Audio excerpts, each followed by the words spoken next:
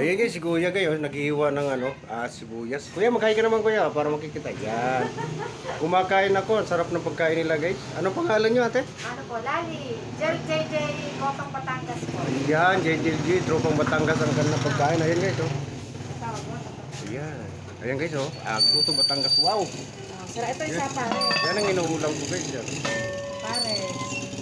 Ayan, ah, anong lugar to dito ate? Ano po, Pechayan, Green Valley. Ayan, nandito tayo sa Pichayan, Green Valley. Punta kayo dito sa ito GI. yung laman ng ano, boto. Oh, ayan. Napakasarap. Ayan guys. Specialty ng Batangas to. Punta na lang tayo dito sa Green Valley, Pichayan. Nandito magkita yung special na anong tawag niyan? Kotong Batangas. Ay, Gutong Batangas. yung banner. Yan si Kuya, kumakain ako. Pinaiyak. Pinayak ako ni Kuya. Nagiwa pala siya ng sibuyas. Pero ang sarap ng guto nila. Ayan guys, ah, pupunta natin dito yung ano na para makikita nyo. Ah. Ayan guys, oh. Yan. Yan, gel, gel, gel. Gutong Batangas.